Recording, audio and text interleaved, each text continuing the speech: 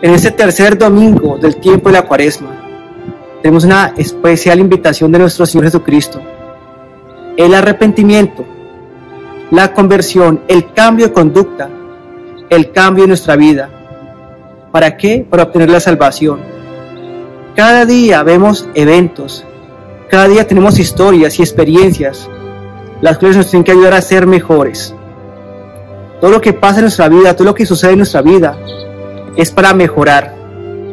Es para que nosotros cada día seamos conscientes de que el Señor nos muestra en nuestras vidas una lección para ser mejores. En este tercer domingo de la cuaresma, sigamos nuestro viaje de preparación, de conversión y de cambio para recibir a Jesús en el tiempo de la Pascua.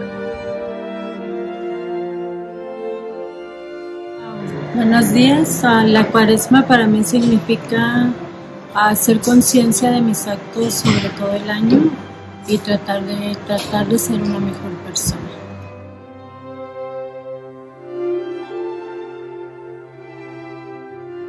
Bueno, para mí la cuaresma es uh, de tratar de ser mejor persona, de uh, curar todos tus pecados y ayunar el día de la cuaresma.